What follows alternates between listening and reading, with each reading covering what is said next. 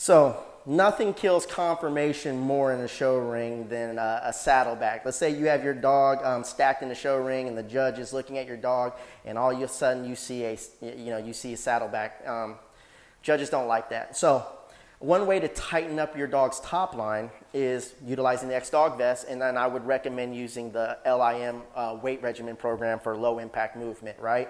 Which is basically it's a 10 week program um, you, you weight the vest 1%, and then over a 10 week uh, period, you're going to increase it by 1% all the way up to 10 weeks.